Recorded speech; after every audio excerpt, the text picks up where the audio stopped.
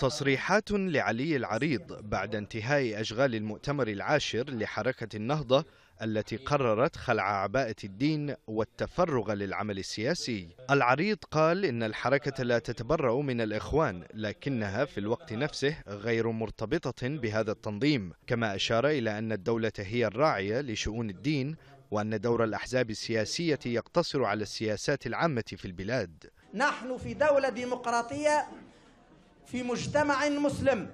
الدولة فيه ترعى شؤون الدين ولا سيما الدين الإسلام دين الإسلامي دين غالبية العظمى من المسلمين. الأحزاب السياسية في مثل هذه الدولة دورها هو السياسات العامة في الفلاحة والصناعة والتجارة والصحة والتعليم.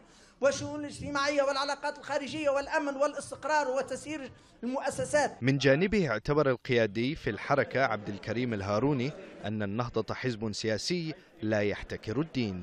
عندنا حزب سياسي الهوية متاعه توضحت هو مدني وديمقراطي وعنده حجم وطني منفتح على النخبة وعلى المجتمع وعلى مكاسب الإنسانية وعنده مرجعية إسلامية ما يتكلمش باسم الإسلام ما يفرضش الإسلام على أحد وما يحتكرش الإسلام.